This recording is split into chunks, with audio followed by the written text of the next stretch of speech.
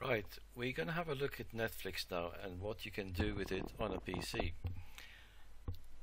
Now Netflix is uh, adapting as we go along and now some people can watch in ultra high definition i.e. 4K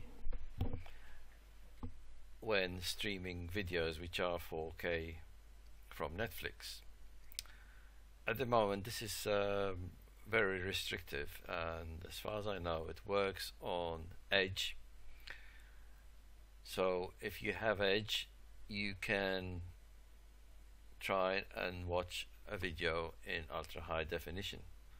Obviously you need a, a monitor with 4K capabilities or you can output the screen to a TV an Ultra HD TV so once you have all those bits, uh, we can go ahead with that. Uh, one of the things you will definitely need at the moment is an Intel 7 generation CPU uh, something like the i7-7700K which is known as Kaby Lake CPU and that has got onboard decoding for VP9 and HEVC which um, we will require.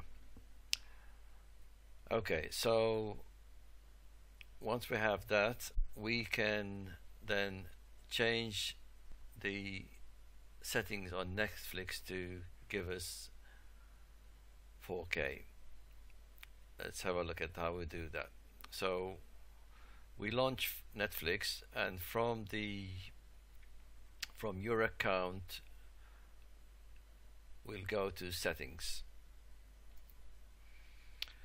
So when you are in your account you look at the settings. Obviously the first thing that you would need is your plan to support Ultra HD as you can see here. So we have that capability. At the moment I use a Roku 4 to get Ultra HD as I don't have a Intel 4K capable CPU at the moment. Okay, um, the one thing you will need to change here is playback settings. So we go into playback settings.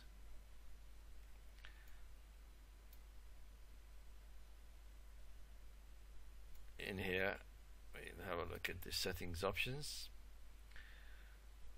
it's quite simple. All you need to do is tick the high for best quality and away we go. So you click on save at that point